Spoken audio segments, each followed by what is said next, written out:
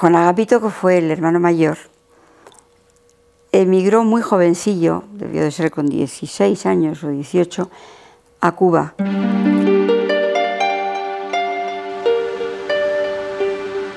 Fue un hombre muy emprendedor, mm, parece que de mucha valía en todos los sentidos, y en Cuba rehizo la fortuna familiar. Y desde allí va a mandar importantes cantidades de dinero. Fue un hombre inteligente, con una gran visión comercial y que va a ser el apoyo de toda la familia.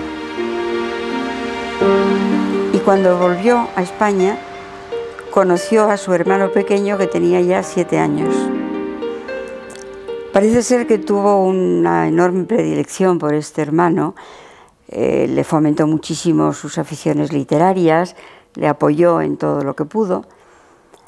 Y para nuestro abuelo, indudablemente, tío Juan Agapito fue un, elemento decisivo en, su trayectoria.